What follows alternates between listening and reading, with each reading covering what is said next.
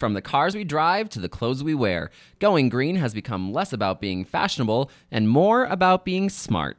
I'll show you five easy ways every college student can go green while saving some green in the process. First, let's start with a no cost step. Did you know that about 75% of the energy used for appliances occurs when they're turned off, but still plugged in? Try using a surge protector or an extension cord like this one that you can turn on and off. Second, watch your temperature. For every degree you lower your thermostat in the winter and raise it in the summer, you can save 1% on heating and cooling costs.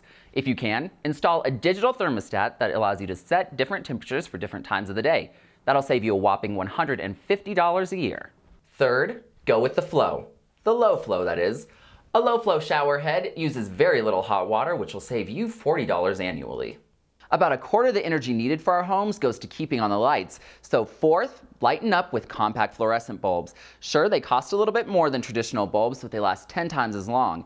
If every household in the US ditched their traditional light bulbs for CFLs, we could save $600 million on utility bills and save enough energy to light 3 million homes. Lastly, consider replacing all of your old chemical based cleaners with more natural items like vinegar, lemons, and baking soda, which are just as effective. Doing this will save you 600, that's right, $600 a year. These simple changes may be small, but they really do make a big impact. So, what are you waiting for? Go green.